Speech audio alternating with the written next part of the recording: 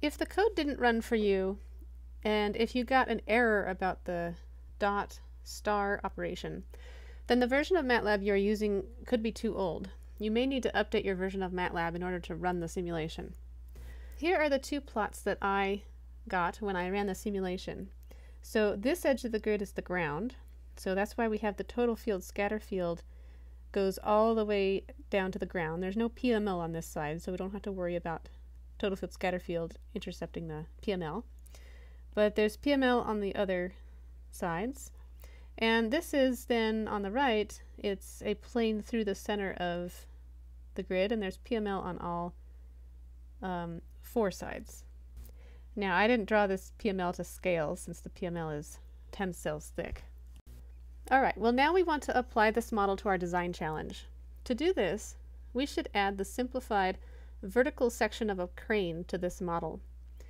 In the code I provided, I used a high frequency source so that we could more easily see the sinusoidal wave propagate across the grid. So you'll want to go in and change the frequency of the sinusoid to the frequency of the AM transmitter that we're considering. So F naught here should be equal to 1280 kilohertz. As a next step, I suggest you go ahead and add the crane to the model as well. Let's assume the crane is made of steel, and the conductivity of steel is 5E7 Siemens per meter. Also assume the crane starts one meter above the ground.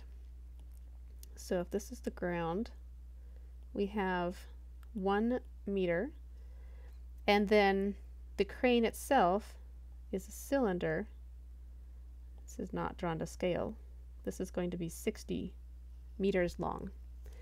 Now remember we only want to model the crane on a string of EZ components so that it is a cylinder that is about one meter wide. So this will be comprised of a whole bunch of EZs. And we don't want to model the crane on any of the other components in the grid.